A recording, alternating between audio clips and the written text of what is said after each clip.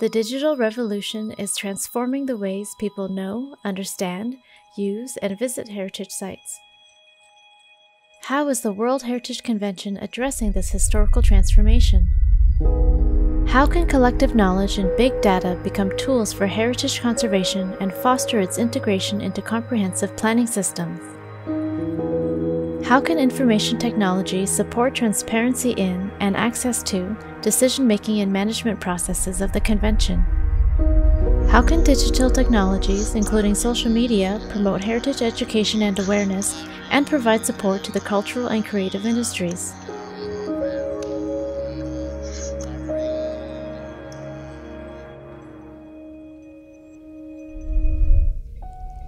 Within the theme of transformational impacts of information technology, we aim to establish a robust network of organizations and professionals. And work together to put forth policy recommendation to the World Heritage Committee at its 50th anniversary of the World Heritage Convention in 2022. Striving to inspire discourse and action, we are exploring how we can use technology to monitor our World Heritage sites and to present multiple narratives through various tools of interpretation.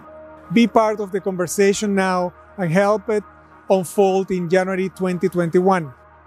Join us as we look for communities across the globe to propose ways to use the technology for monitoring World Heritage sites.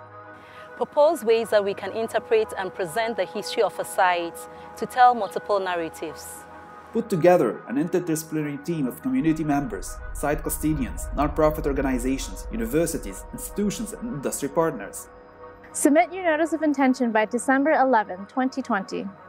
Let us know if you would like to participate in the discussion and be part of the change. We will support you along the journey as we head into January 2021.